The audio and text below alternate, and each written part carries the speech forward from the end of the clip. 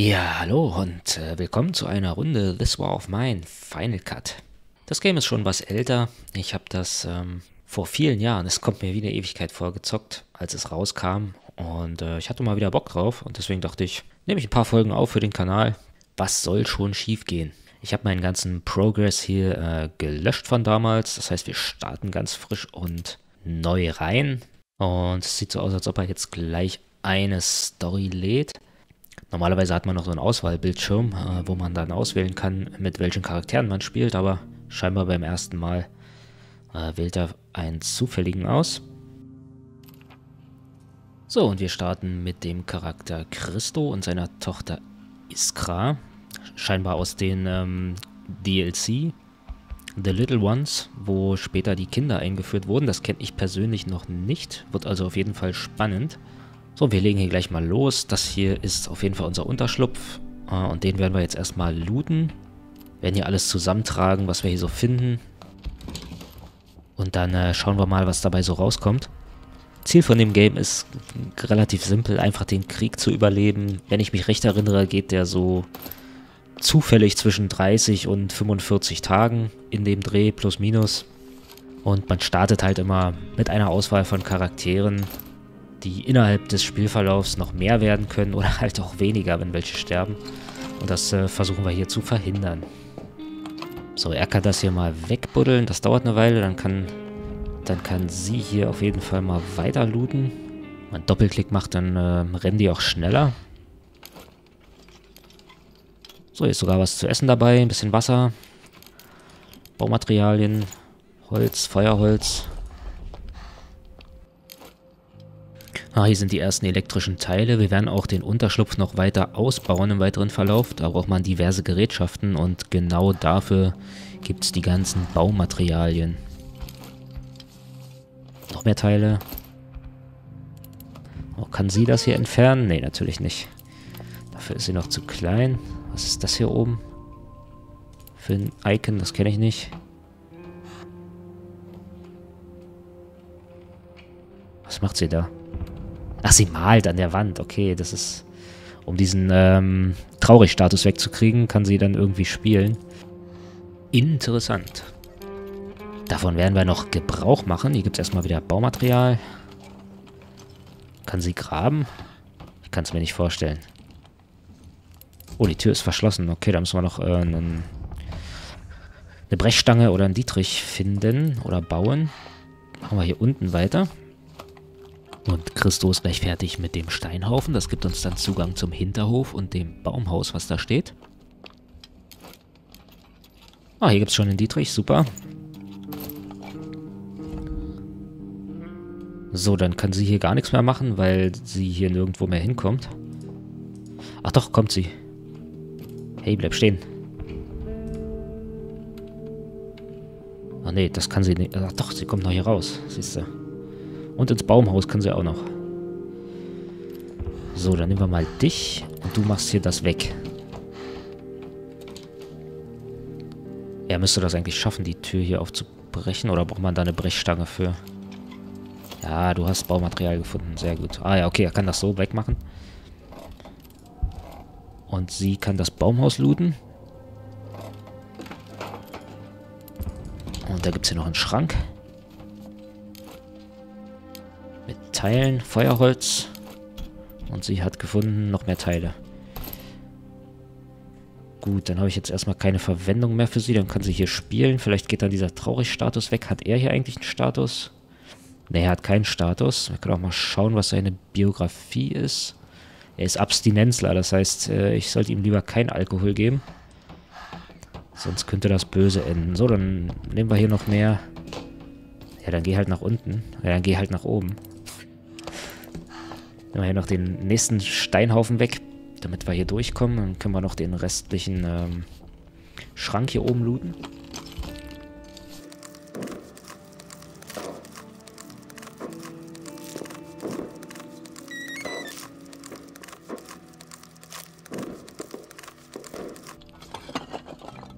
So, das weg. Dann machst du noch die Tür hier auf.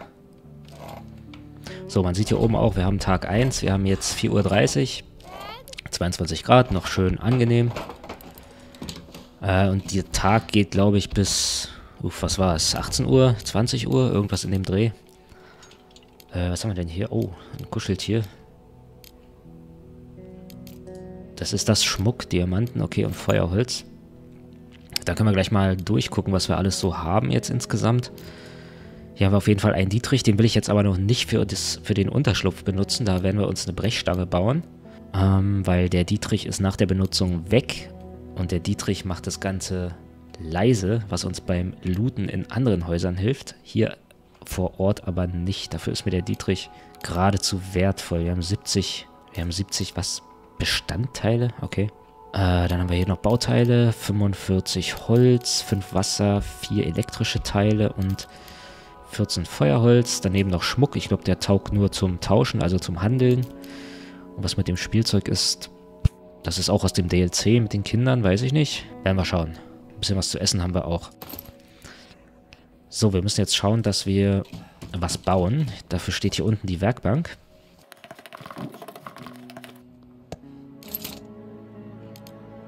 So, dann würde ich mal stark sagen, wir könnten auf jeden Fall ein Bett gebrauchen. Wir könnten einen Herd gebrauchen.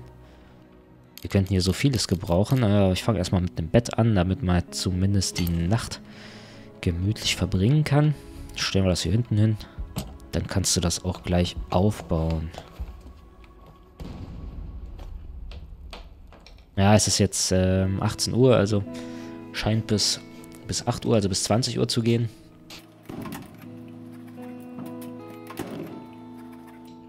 Können wir vielleicht noch irgendwas anderes in Auftrag geben. Weiß nicht, ob er es dann noch schafft zu bauen.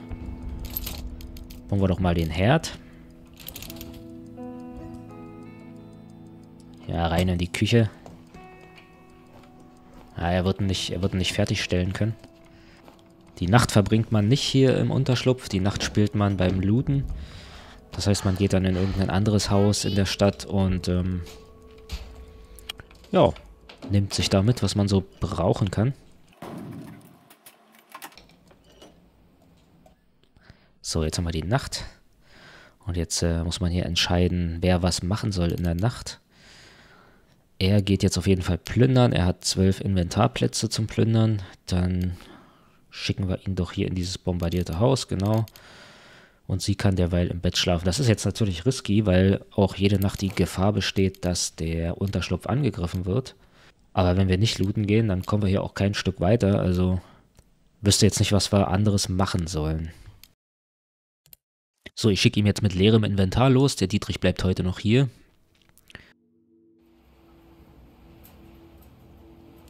So, dann schauen wir doch mal hier, dass wir alles looten. Ich glaube, dieses Haus ist relativ safe. Hier gibt es keine Gegner, nichts. Hier gibt es Baumaterial. Das hier müsste nur irgendeine Ratte sein oder so, genau. Da kommt sie schon raus. Ähm. Gab es hier nicht einen Hotkey, wie man alles nehmen kann? Ah ja, Rechtsklick. Okay. So, jetzt sind wir im Prinzip schon voll, könnten wir zurückgehen. Aber ich schaue mal noch, ob es hier irgendwas Sinnvolleres noch gibt. Wir müssen uns ja nicht komplett mit Baumaterialien vollstopfen. Hier könnten wir noch ähm, Essen und Wasser mitnehmen. Das wäre vielleicht sinnvoll. Dann lassen wir doch ein bisschen Baumaterial hier und Holz. So, nehmen wir alles an Wasser mit und ein Steak Essen.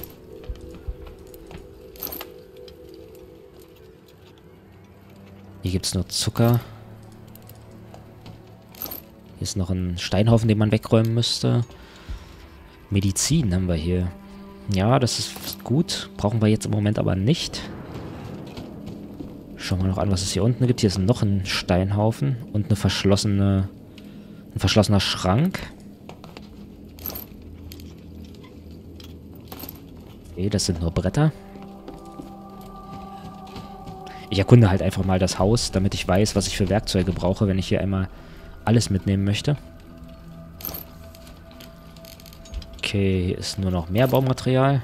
Guck mal hier durch ist abgeschlossen. Also brauchen wir hier auch eine Brechstange oder einen Dietrich. Okay, also wir müssen auf jeden Fall am besten mit einer Schaufel und einer Brechstange nochmal wiederkommen. Das kriegen wir hin. Haben wir erstmal ein volles Inventar.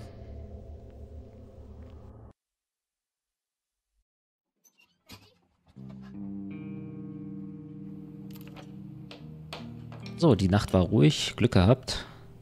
Wie gesagt, kann auch sein, dass man mal überfallen wird in der Nacht oder und dann verletzen sich die ähm, Bewohner, die da äh, ja quasi ohne Verteidigung völlig schutzlos schlafen. So, das Ganze wurde jetzt zu unserem Inventar hinzugefügt. Er ist jetzt hungrig und müde und sie ist nur hungrig und immer noch traurig. Aber hier ist auch noch so ein so ein Spiel-Icon. Was kann sie denn hier machen? Aber lassen wir, lassen wir ihn sie erstmal trösten. das ist ja süß gemacht. Oh, jetzt geht sie weg. Jetzt ist er eingeschnappt. Was ist denn das? Was macht sie denn da? Ach, okay. Alles klar. So, dann bau du mal den Ofen.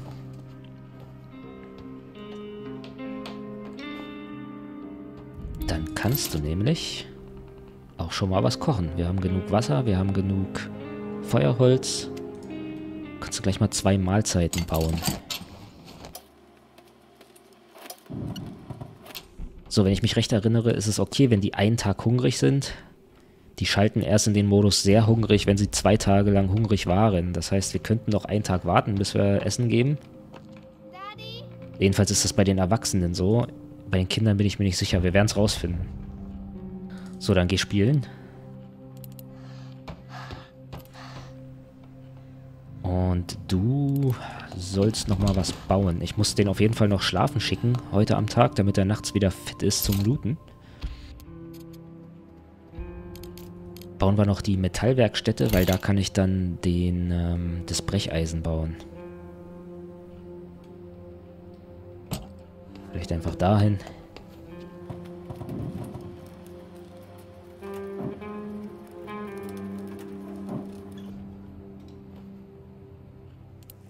So, das ist fertig und wir können jetzt hier äh, die Brechstange und die Schaufel und den Dietrich bauen. Machen wir erstmal die Brechstange. Und dann machen wir auch die Schaufel gleich. Papa, spielst du mit mir? Papa ist gerade beschäftigt. Papa muss eine Schaufel bauen. Steht sie da eingeschnappt wie so eine Greta. How dare you! So, Schaufel ist fertig.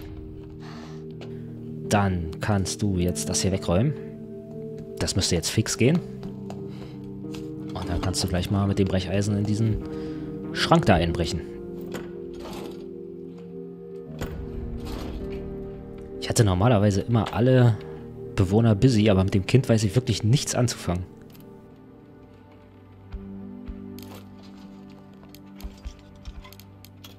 So, hier sind Bücher, ein bisschen Wasser und, oh, schön, einmal Bandagen. Falls sich mal jemand verletzt, sehr nützlich. So, ich glaube, ich schicke ihn zur Sicherheit jetzt mal ins Bett. Denn dass er nicht ausgeschlafen ist heute Nacht, kann ich mir nicht leisten im Moment. So, er ist ausgeschlafen. Das ist sehr gut. Dann können wir hier unten noch ein bisschen weitermachen.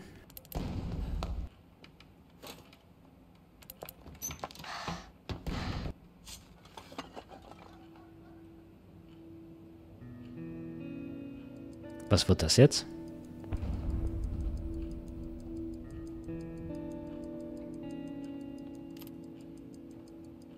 Oh, sie ist nicht mehr traurig. Das ist cool. Dann kannst du gleich mal looten und du kannst das aufbrechen. Das schaffen wir noch vor 8. Kommt, ich glaube an euch. Oh, hier ist Gemüse. Okay. Kann man benutzen, um besseres Essen zu kochen und ja, ein bisschen was von allem.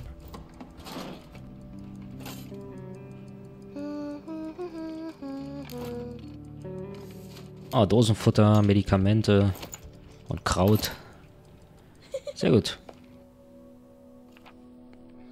So, du pennst wieder im Bett und er geht plündern. Wir gehen wieder in das bombardierte Haus, weil da war ja noch einiges zu holen. Und diesmal nehme ich natürlich das Brecheisen und die Schaufel mit.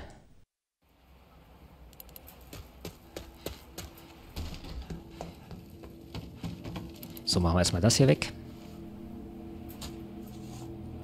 Wir werden dann sicherlich nochmal hierher kommen. Aber dann müssen wir keine Werkzeuge mehr mitnehmen, denn ich werde jetzt einfach alles aufmachen und alles wegschaufeln, was es hier so gibt. Dann haben wir die zwei Inventarplätze nächstes Mal frei. So, den Haufen noch weg. Und den Schrank aufbrechen.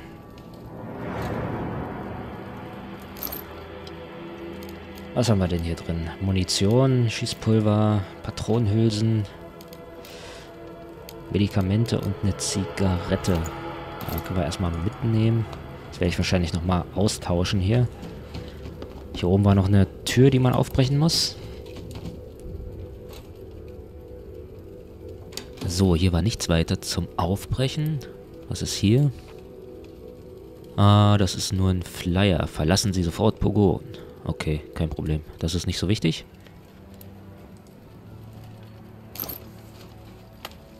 So, hier ist noch mehr Baumaterial. Können wir ein bisschen was mitnehmen.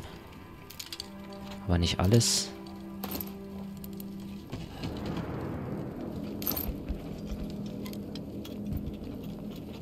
Gibt es noch ein Stack Teile?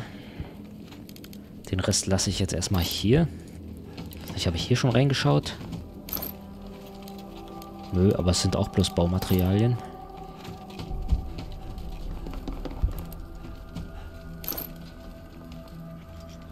So, das können wir hier noch stacken, weil davon haben wir schon einen. Die Zigarette lasse ich hier, dann nehme ich lieber die Medikamente mit. Und ich glaube, die... Das Schießpulver, die Patronenhülsen können wir auch erstmal hier lassen. Nehmen wir lieber noch hier irgendwas mit aus dem Kühlschrank. Oder von hier einfach mal noch ein Stack Zucker. Und dann gab es im Kühlschrank noch irgendwas Sinnvolles. Ich glaube, da gab es noch Essen. Ja. Okay. Und hier war nur Baumaterial noch richtig. Ja. Okay, rennen wir erstmal nach Hause mit dem Loot.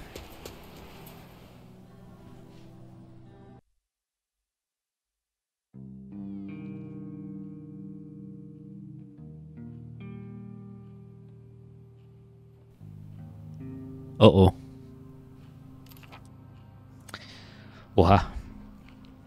Jemand ist eingebrochen, hat unsere Sachen gestohlen. Schauen wir mal, was wir verloren haben. Wir haben einmal Essen verloren und einmal Wasser. Okay, und sie wurde verletzt. Oh, das ist nicht gut. Das ist nicht gut. Dann müssen wir die gleich mal verarzten. Dazu haben wir ja die Bandage. Schauen wir mal, wie schwer die Verletzung ist. Leicht verletzt, okay. Und deprimiert. Deprimiert ist nicht gut. Da müssen wir gleich mal Aufbauhilfe leisten. Jo, das waren die ersten zwei Tage und zwei Nächte aus dem Let's Play. Ich mache hier mal einen Cut. Und wir machen dann in der nächsten Folge mit dem Tag 3 weiter. Ich werde mal schauen, wie das so ist. Wie viel Videolänge dann zwei Tage äh, sind. Vielleicht machen wir auch drei Tage äh, pro Folge oder so. Mal schauen. Dann vielen Dank fürs Zugucken bis hierhin. Lasst es euch gut gehen und wir sehen uns in der nächsten Folge wieder.